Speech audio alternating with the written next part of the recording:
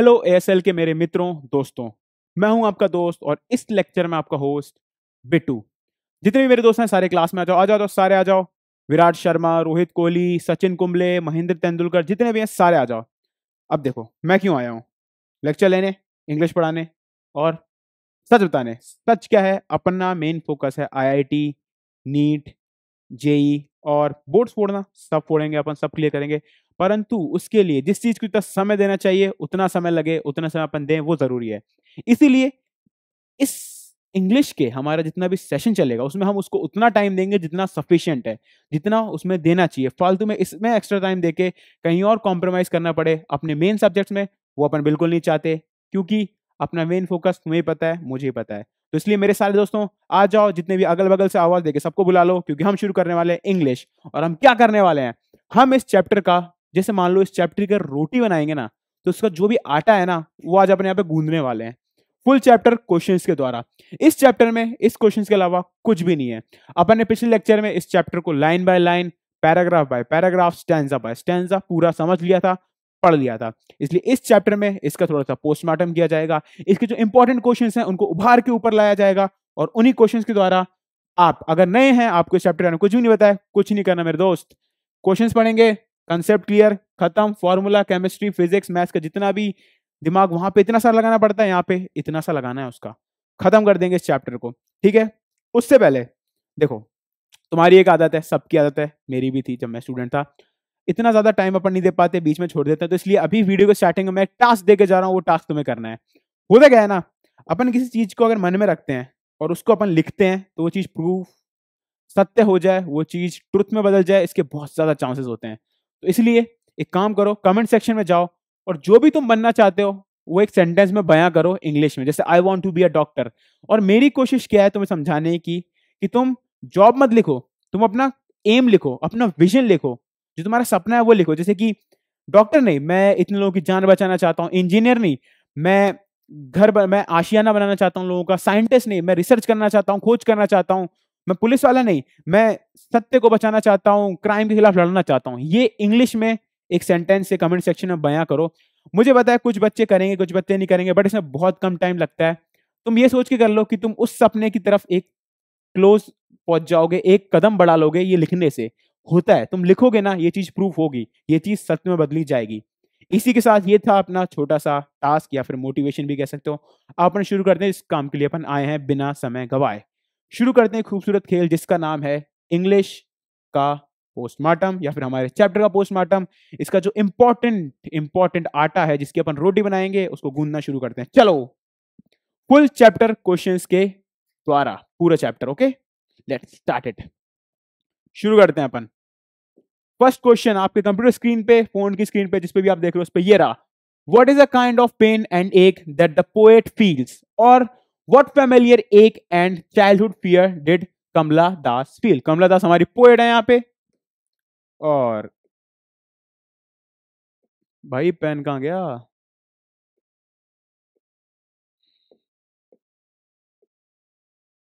ये देखो, ये लेजर आ रही है यार। मज़ाक हो रहा है क्या यहाँ पे मेरे साथ?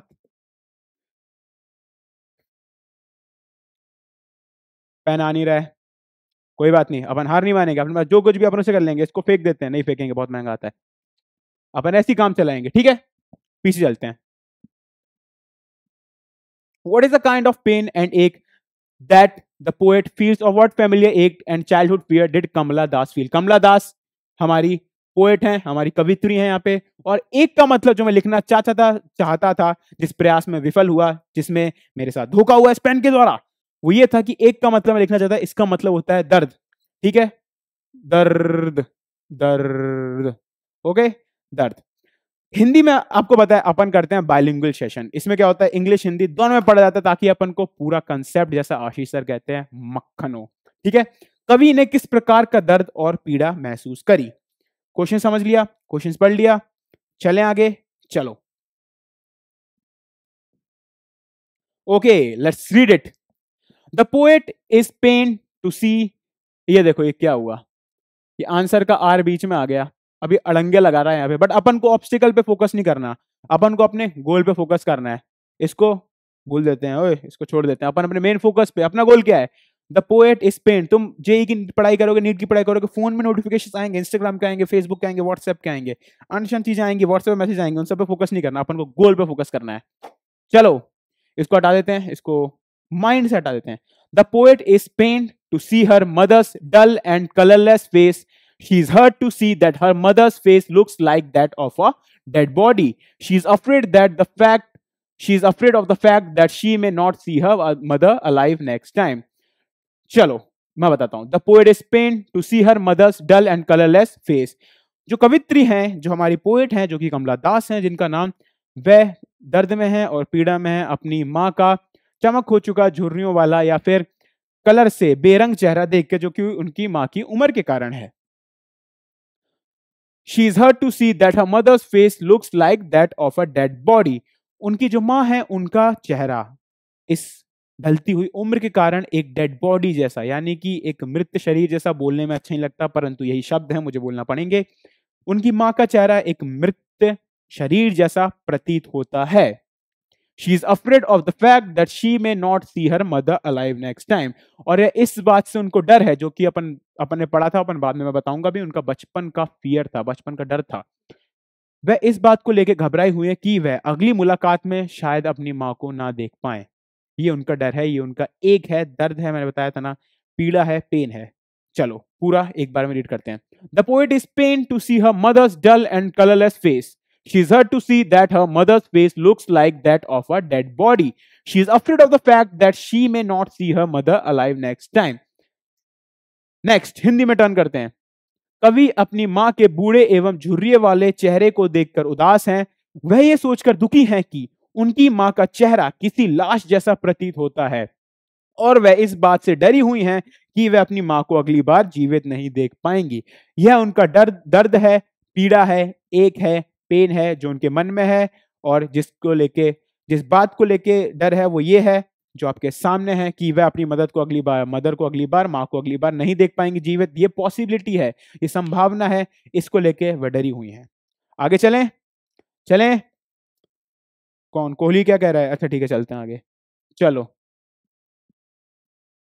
दूसरा क्वेश्चन देखो ऐसा, अब रोटी चार लोगों की बनानी है तो सत्तर लोगों का आटा डाला क्या फ़ायदा? वही तो क्वेश्चन कम है, परंतु इस इस चैप्टर का निचोड़ और ये मैं समझा यहाँ पे चैप्टर निपटा दिया। इसके बाद मैं एक और चीज़ लेके आऊँगा। इसके बाद अपन ना पोएम के जो स्टैंडाज हैं पैराग्राफ है ना, उनसे क्वेश्चन बना के करेंगे इसी चैप्टर के, जिसका एग्ज़ाम में आने के चांसेस होते हैं। तो ये उन बच्चों के लिए जिन्होंने क्वेश्चन जिनको क्वेश्चन करने हैं, जो इस बात को लेके पूरी तरह से तैयार हैं कि क्वेश्चंस आ गए तो अपन कैसे प्रिपेयर करेंगे? या फिर अगर एग्ज़ाम वाला क्वेश्चन देता तो अपन कैसे उनको तोड़ेंगे, फोड़ेंगे, मरोड़ेंगे?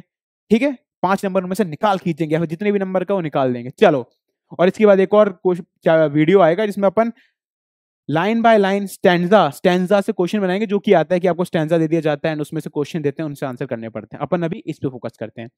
Why are the young trees describe as sprinting sprinting का मतलब होता है दौड़ लगाना। स्प्रिंटिंग का क्या मतलब होता है? दौड़ लगाना। चलो।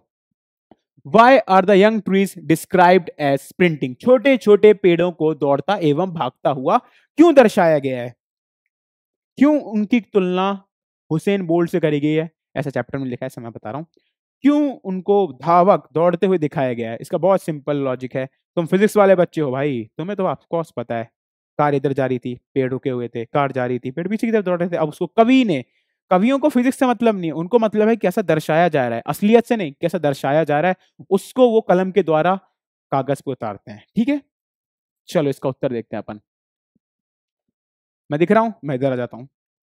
The car was moving when the poet looked outside at the trees they appear to be sprinting because the car was speeding past them in the opposite direction the young trees young पे वो लगाया है commerce लगाए हैं अपर head commerce क्योंकि यहाँ पे young जो है, वो एक मेटाफर है। वो एक, उनको दर्शाने के लिए एक एडजेक्टिव लगाया है। The young trees represented life in contrast to mother's approaching death contrast मतलब उससे विपरीत। कॉन्ट्रास्ट का मतलब विपरीत विपरीत। काला का कॉन्ट्रास्ट व्हाइट व्हाइट का कॉन्ट्रास्ट ब्लैक अच्छे का कॉन्ट्रास्ट बुरा। बुरे का कॉन्ट्रास्ट अच्छा। शांति का कॉन्ट्रास्ट अपना बगल वाला देश। चलो आओ, अपन फोकस करते हैं कहाँ पे। हाँ। The car was moving. When the poet looked outside at the trees, they appeared to be sprinting because the car was speeding past them in the opposite direction. The young trees represented life in contrast to her mother's approaching death. इसका मतलब क्या है जब कवि ने बाहर की ओर देखा तब उनकी कार रफ्तार में थी पेड़ दौड़ते या भागते हुए इसलिए प्रतीत हो रहे थे क्योंकि उनकी कार रफ्तार से पेड़ों के विपरीत दिशा में जा रही थी ये छोटे ऊर्जा से भरे पेड़ जीवन का स्वरूप लग रहे थे, जो कि उनकी माँ से एकदम विपरीत हैं। उनकी माँ बूढ़ी हो चुकी हैं, जीवन के अंतिम समय में है, परंतु जो पेड़ बाहर हैं, वे तो नए हैं, ऊर्जा से भरे हुए हैं, उनकी तो पूरा जीवन बाकी है, उन्हें तो ऊंचाइयों पर छूना है, वे गगन को टच करेंगे। इसीलिए ये कॉन्ट्रास्ट बनाया गया, एक विपरीत दृश्य दर्शाया गया यहाँ पे यंग ट्रीज छोटे छोटे पेड़ों और मदर के लिए, है ना? समझ गए? कार उनकी तेज रफ्तार में जा रही थी और जो पेड़ हैं वो विपरीत दिशा में जाते हुए दिख रहे थे क्योंकि उनकी कार विपरीत दिशा में जा रही थी। और इसीलिए जब उन्होंने जो पुराने उनके ख्याल आए थे कि मेरी माँ को मैं अगली बार नहीं देख पाऊँगी, उनसे ध्यान भटकाने के लिए जब उन्होंने बाहर देखा तो उन्होंने उन यंग ट्रीज को देखा एंड कवियों का काम क्या होता है, दृश्य को, उनको एक अलग तरीके से समझते हैं कवि, उनका दिमाग कुछ अलग होता है। वो फॉर्मूलेज या फिर लॉजिक में बिलीव नहीं करते, वो बिलीव करते हैं हर चीज़ में खूबसूरती देखना, हर चीज़ में एक छुपा हुआ अंदाज देखना। तो उन्होंने वह देखा और उन्होंने वह सोचा कि ये यंग ट्रीज हैं, ये दौड़ते, भागते प्रतीत हो रहे हैं, परंतु मेरी माँ जो डल हो चुकी हैं, आराम कर रही हैं, झपकियाँ ले रही हैं वे अब उनमें एक शैलीनता है, शांति है और जो कि अपनी मृत्यु की ओर बढ़ रही हैं, जो ये बात स्वीकार नहीं करना चाहती, हमारी कवित्री कमला दास। समझ गए? चलें? चलें, स्प्रिंट करें, आगे चलते हैं, चलो। Next question, okay. Why has the poet brought in the image of the merry children spilling out of their homes? यहाँ पे spilling out of their homes को अपन ने overhead commas लगाए हैं, क्योंकि ये एक दृश्य दर्शाने के लिए लगाया गया है। ये इसको अपन लिटरली ले सकते हैं इसको असलियत के रूप में नहीं ले सकते। स्पिलिंग का मतलब होता है फैल जाना। तो ऐसा लोग कहना चाहते हैं, बच्चे फैलते हुए घर से निकल रहे थे। वो होता है ना, अपन बोलते हैं कि, यार, तेरे पंख लग गए क्या? ज़्यादा उड़ मत। तो उसके सच में थोड़ी ना पंख लगते हैं यार, उड़ता थोड़ी ना है वो। वो तो बोलने के लिए बोलते हैं ना, वैसे ही। क्वेश्चन क्या है? Why has the poet brought in the image of the merry children spilling out of their homes poet ने, कवित्री ने spilling out of their homes से चिल्ड्रन को क्या दर्शाना चाहते हैं? इसके द्वारा वह रीडर्स को, जो हम पढ़ने वाले हैं, इनको क्या बताना चाहती हैं कवित्री? ये हमारा प्रश्न है, बहुत ज़रूरी प्रश्न ये आता है। कवि ने बच्चों के प्रति spilling out of their homes किस संदर्भ में कहा है? प्रश्न पढ़ लिए, हिंदी में पढ़ लिए, इंग्लिश में पढ़ लिए, तेलुगु, तमिल में भी उपलब्ध नहीं है, गुजराती मुझे भी नहीं आती। ठीक है? चले, आंसर की तरफ़ चलते हैं। ओके चलो। The poet has use this imagery to bring out the contrast between children who are energetic and full of life and her mother who is old pale and lifeless जैसे कि कवित्री ने पेड़ों से एक दृश्य को जोड़ा था, अपनी माँ के चेहरे से कॉन्ट्रास्ट बिठाया था, विपरीत देखा था, उसी तरह उन्होंने ये चिल्ड्रंस को भी देखा। बच्चे ऊर्जा से भरे हुए घर से बाहर निकल रहे हैं, खुल के ज़िंदगी जी रहे हैं, ज़िंदगी जीने के लिए उत्साहित हैं, परंतु उनकी माँ, जो कि मृत्यु की तरफ़ जा रही हैं, उनका चेहरा मुरझाया हुआ है, झुर्रियाँ आ चुकी हैं, जिनमें ऊर्जा की कमी है, शैलीनता है, शीतलता है। तो एकदम विपरीत है दोनों एक दूसरे से। इसलिए उन्होंने कहा है कि the poet has use this imagery to bring out the contrast, विपरीत दिखाने के लिए between children who are energetic and full of life, and her mother who is old, pale and lifeless. कवि ने यह एक दृश्य प्रकाशित करने के लिए कहा है, जिसमें कि जीवन व ऊर्जा से भरे हुए बच्चे तथा दूसरी ओर बुज़ुर्ग व उम्र से ग्रस्त उनकी माँ है। समझ में आया? समझ में आया? समझ में आया? इंपॉर्टेंट क्वेश्चन है ये। इंपॉर्टेंट क्वेश्चन है ये। समझ में आया? चलें आगे? ओके चलो। Next question Why has the mother been compared to the late winter's moon? फिर से, Why has the mother been compared to late winter's moon? कविता कविता में माँ की लेट विंटर्स मून से क्यों तुलना की गई है? आपका प्रश्न पढ़ लिया आपने? मैं फिर से पढ़ देता हूँ। कौन कह रहा है?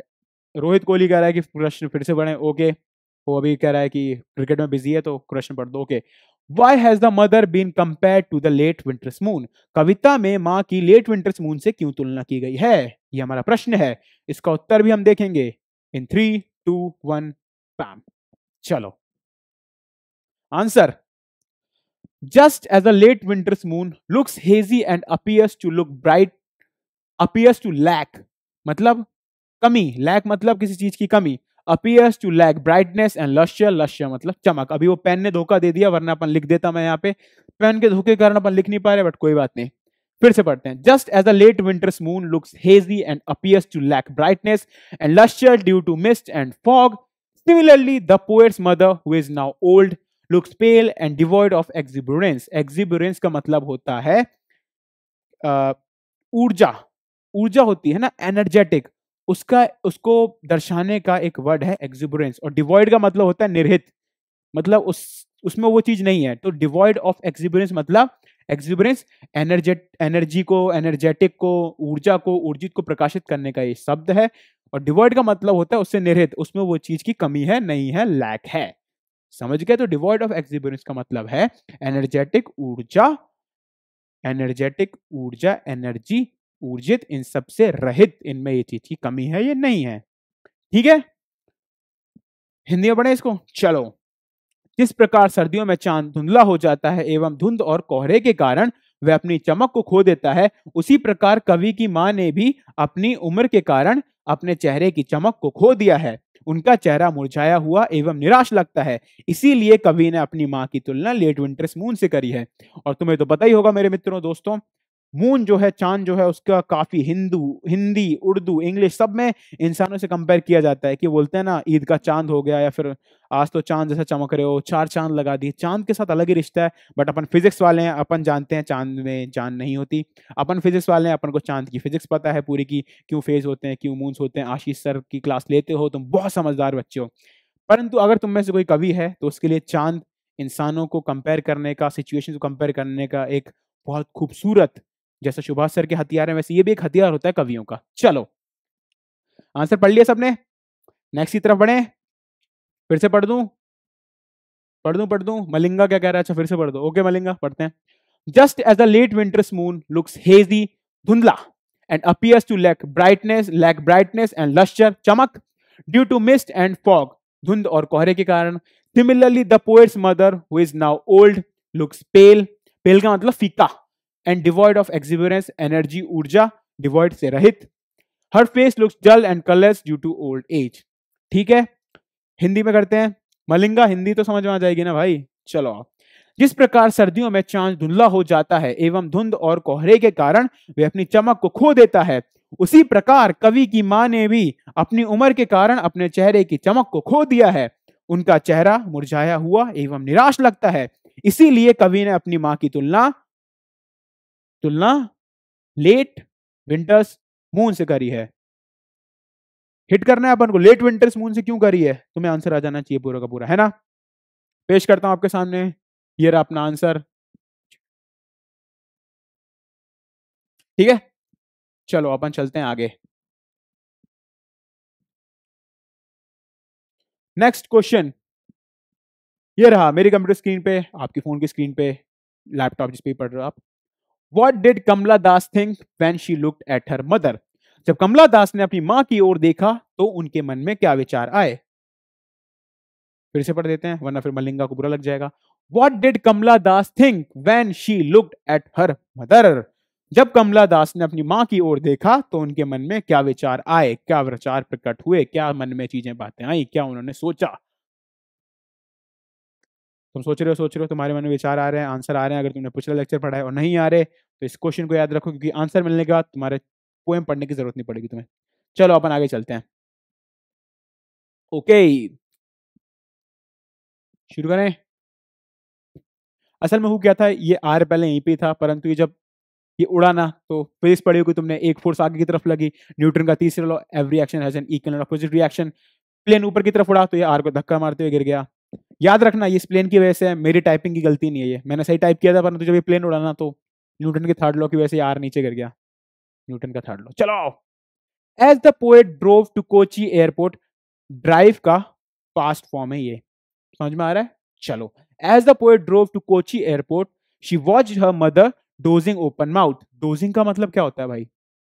डोजिंग का मतलब क्या होता है? जब तुम फिजिक्स मैथ्स की क्लास कहीं और प्लेटफॉर्म से लेते हो तो डोजिंग हो जाती है तुम्हें, या फिर क्लास में लेते हो, झपकी आ जाती है। परंतु एएसएल पे ऐसा नहीं होता भाई। यहाँ पे आशीष सर का मक्खन है, विक्रम सर का शानदार है, सुभाष सर के हथियार हैं और गगन सर का एनसीआरटी है। नहीं समझोगे इसलिए रटो तुम।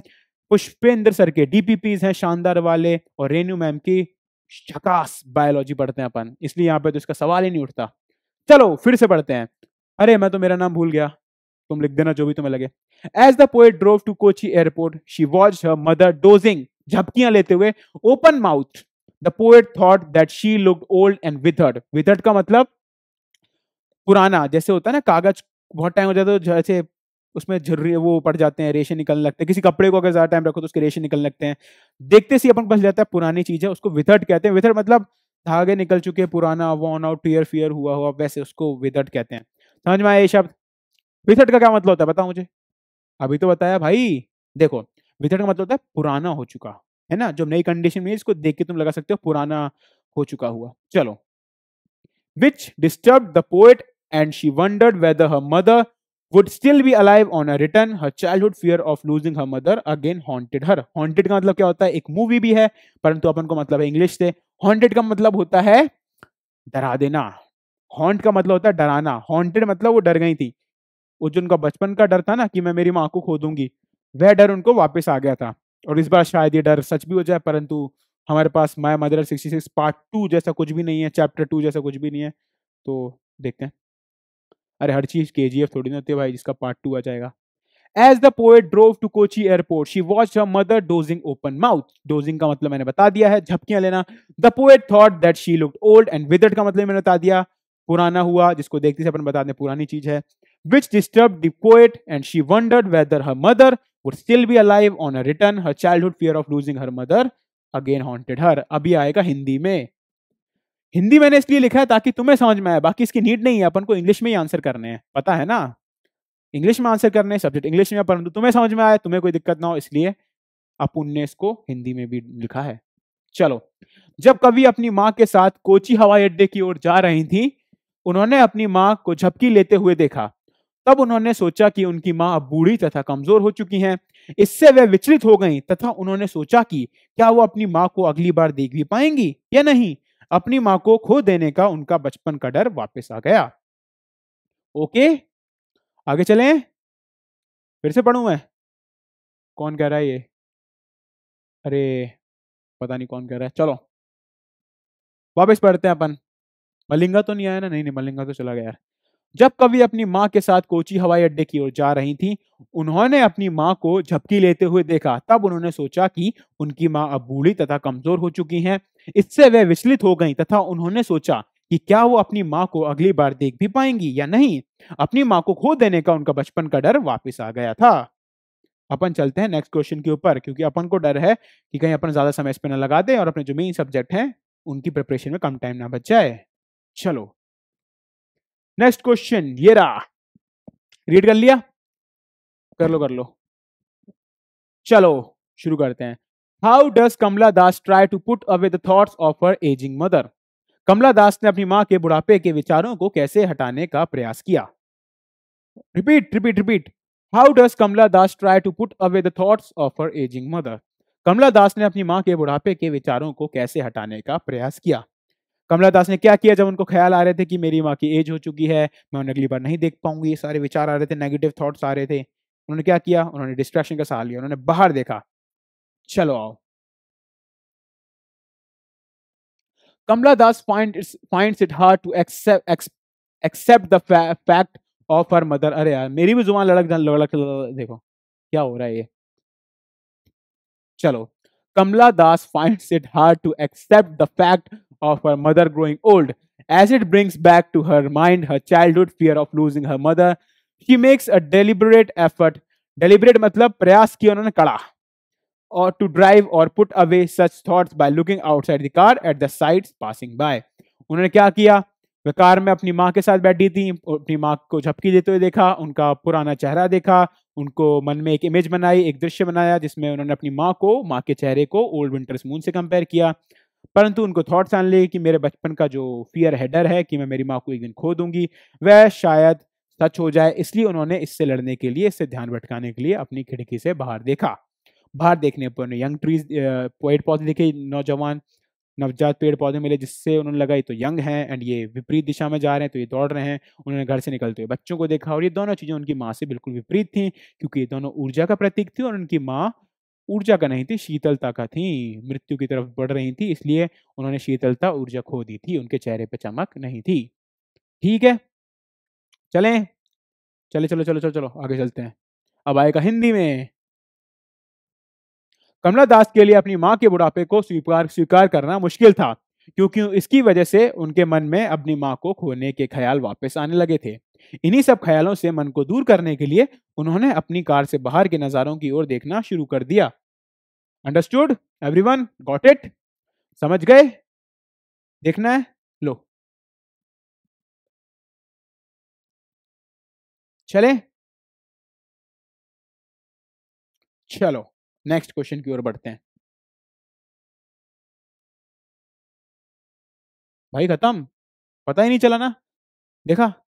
चैप्टर निचोड़ लिया अपन ने, आटे की रोटी बनना तैयार हो गई तो बस उसको खाना है। ठीक है, समझ में आ गया? और ये मत समझना अपन ने चैप्टर में खत्म कर दिया। इसका मैं एक और पार्ट लेके आऊँगा, क्योंकि क्या होता है ना पोएम से ना अपने इंग्लिश के एग्ज़ाम में एक पार्ट आता है, जहाँ पे पोएम का एक पैराग्राफ होगा एंड उससे आंसर्स बनाने होंगे, एक पैराग्राफ दे दिया जाएगा। तो अगले वीडियो में मैं क्या लेके आऊँगा तुम्हारे लिए, इस पोएम के पैराग्राफ्स होंगे, उससे क्वेश्चंस बनाएँगे, उनको आंसर करना सीखेंगे। समझ गए? समझ गए? समझ गए मेरे मित्रों? मलिंगा खुश है, सब लोग खुश हैं? हमने चैप्टर का क्या किया? अगर तुमने पोएम नहीं पढ़ी तो ये क्वेश्चन पढ़ लिए, तुम्हें पूरा चैप्टर खत्म हो चुका है। Okay this was me Bittu thanks for staying with me ये था हमारा chapter my mother 66 important question करे हमने। थैंक यू मेरे मित्रों। बाय बाय हम जल्दी मिलेंगे। बाय